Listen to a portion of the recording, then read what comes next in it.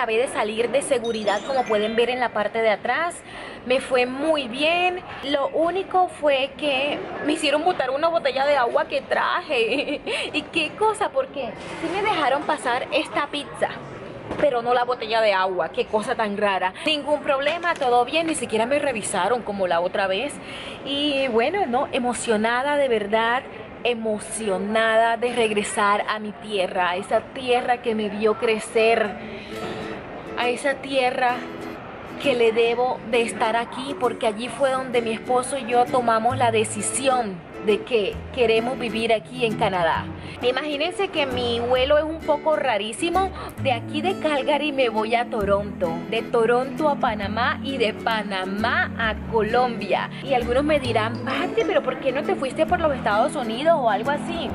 Pero lo que pasa es que yo tuve una mala experiencia con inmigración de Estados Unidos y la verdad que eso me traumatizó. O sea, horrible que me da miedito ir por allá. Pero, aunque también tengo que decir que no tengo la visa de Estados Unidos. Y, y bueno, eso será otro video que les tengo que contar, sino que yo sé que he estado como que posponiendo ese video, posponiendo, posponiéndolo, pero algún día, algún día les voy a contar qué fue lo que pasó en Estados Unidos conmigo. pero bueno, ustedes saben las locuras que a mí me pasan, ustedes ya me conocen cómo es que es la cosa, cómo es que es Patri. Pero bueno, entonces ya les contaré eh, cómo va mi proceso, cómo va mi viaje de aquí a Colombia. Ah, también les quiero mostrar que prácticamente esta va a ser la primera vez que yo voy a viajar utilizando mi residencia permanente. Jamás olvidaré ese día en que mi esposo me llevó al aeropuerto de Cartagena y allí pues prácticamente yo dije, yo no vuelvo a Colombia sin mi residencia permanente. Y bueno, creo que hoy lo voy a cumplir, entonces vengan conmigo. Imagínense que yo estaba planeando venir aquí al aeropuerto ah, por medio de un taxi y yo dije, ay Dios mío, ya me va a tocar pagar una cantidad de dinero mínimo como 70 dólares, sin mentirle, porque este aeropuerto queda súper lejísimo, por lo menos desde la casa donde yo vivo, pero de verdad que súper contenta porque una persona muy especial para mí me ofreció traerme aquí y yo ni siquiera le pregunté, ni siquiera le dije, oye, ¿será que me puedes traer? No, esa persona enseguida me dijo, si quieres te puedo llevar al aeropuerto. Y yo le dije, ay, yo te agradecería muchísimo porque de verdad que, o sea, me va a economizar esos 70 dólares. Y aquí volvemos a lo que yo siempre menciono en mis videos. De verdad que Dios siempre va abriendo el camino, aunque uno no lo vea, Dios siempre va colocando las personas que necesitamos, las personas correctas, o como esos ángeles en nuestro camino, cuando más lo necesitamos. De verdad que yo no me esperaba de que ella me ofreciera. Son las 8 y 20 de la noche y mi vuelo es a las 12 de la madrugada. Entonces ya me está dando hambre y voy a, voy a ir aquí a este jugo juice Voy a comprarme un juguito. Se lo estoy esperando por aquí.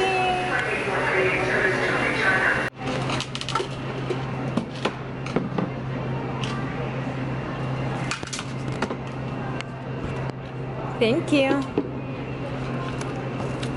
Caramba, pero ¿cómo me tiró? Mm, ¿Que tienes rabia o qué? Ustedes saben que yo llevo rato que no veo a mi esposo, ¿verdad? Yo por lo menos en Canadá conseguí este trabajo y él se quedó en Colombia. Pero el reencuentro de nosotros, y aunque nosotros hablamos todos los días, porque eso sí tengo que decirlo, todos los días hablamos, ustedes saben porque uno tener una relación a distancia no es fácil.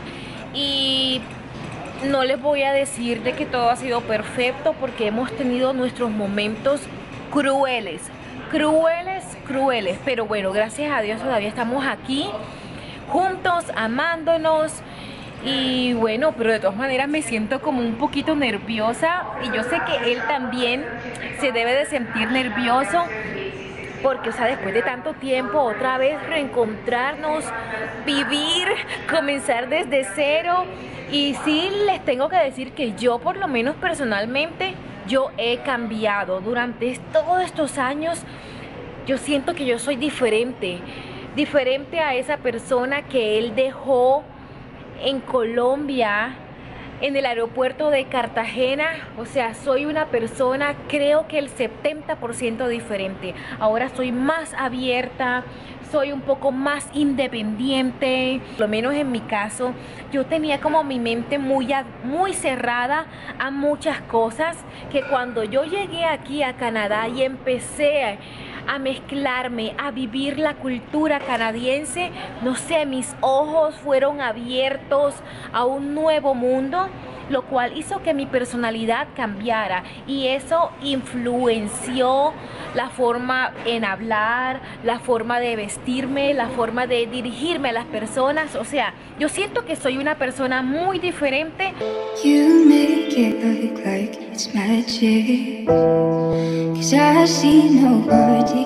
Ya llegué al aeropuerto de Toronto y déjenme decirle que este aeropuerto es supremamente grande y súper lindo, o sea, comparado con el aeropuerto de Calgary que, es como más pequeño, este de Toronto, o sea, gana totalmente. Eh, entonces, de Calgary a Toronto el, el, vuelo demoró cuatro horas y bueno, estoy, de aquí, estoy aquí esperando el siguiente que es hacia Panamá. Entonces ya les cuento.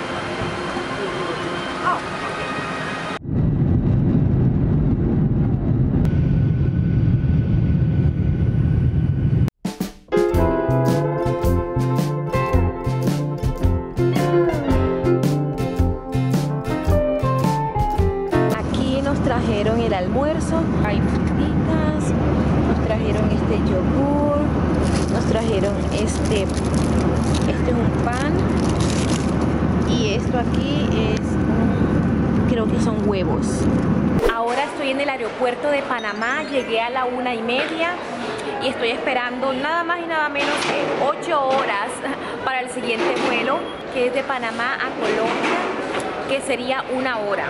Entonces, bueno, yo creo que mi cabello ha empezado a notar que ya estoy en clima caliente. Oye, mi cabello se pone como todo esparaseado, todo esponjoso. Dios mío, qué horror. Pero bueno, ya hace calor aquí. Ya me comuniqué con mi esposo y le dije que me esperara con un pollo asado, porque oígame, de verdad que estoy deseando un pollito asado.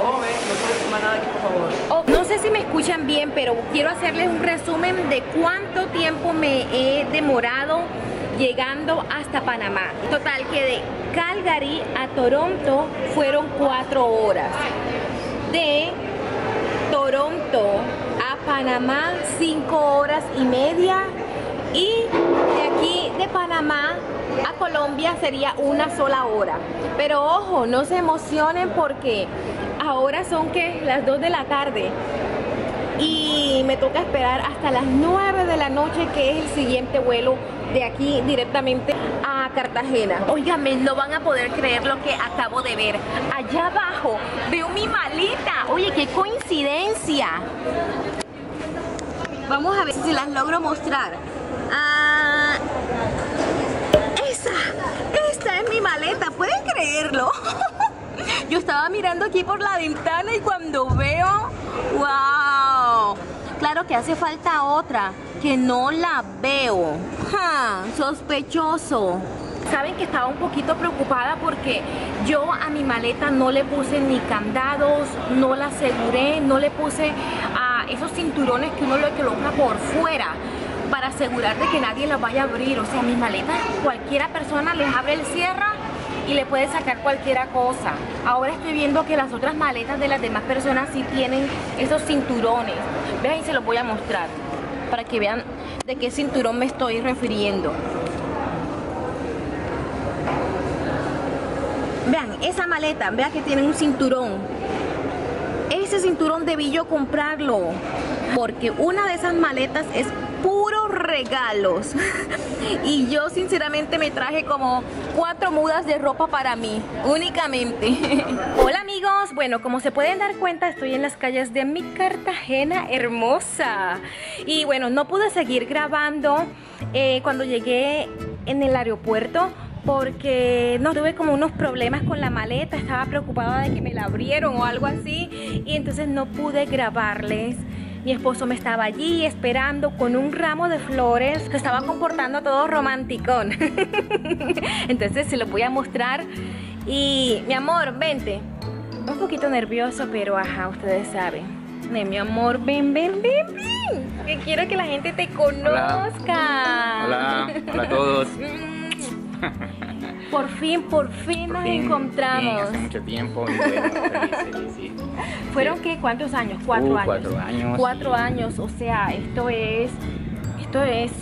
Ah, costoso, pero bueno, suponemos que costoso, exacto, o sea, costoso, no, no estamos hablando únicamente económicamente, sino emocionalmente, energía, o sea, tiempo, pero se puede lograr, lo logramos y bueno, estamos aquí ya, Dios mío, es increíble, ¿cierto? Es increíble, muy contento, y agradecido con Dios de que estemos aquí.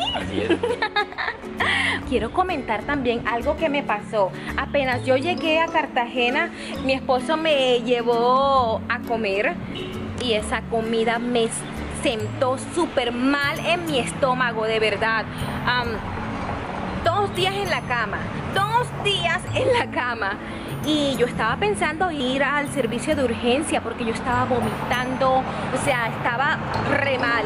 Pero gracias a Dios, pues mi esposo, él conoce mucho de medicamentos y me recomendó uno y me cuidó muchísimo.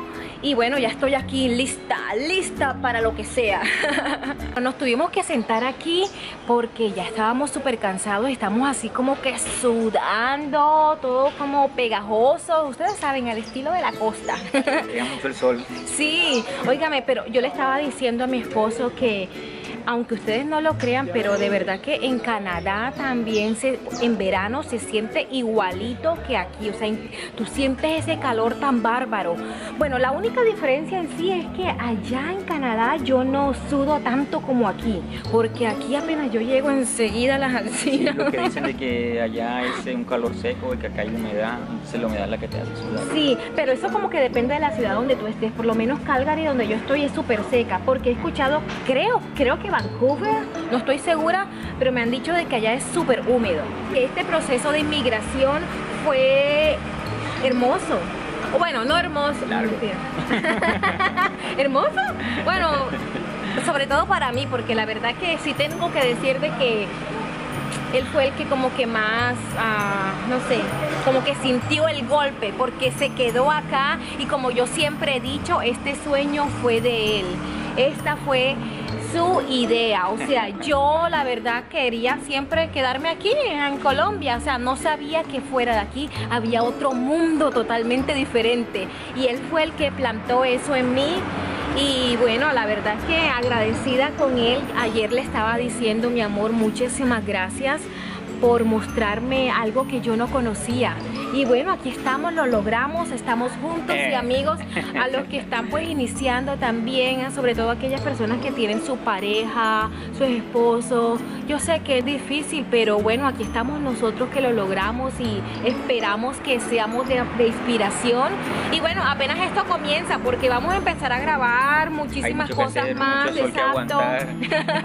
aquí porque cuando lleguemos a Canadá vamos a seguir grabando y voy a grabar todo a ver a ver, yo quiero ver la cara cuando tú entres a Canadá y sientas esos menos 25 grados. E-, eso es lo que yo mm, quiero.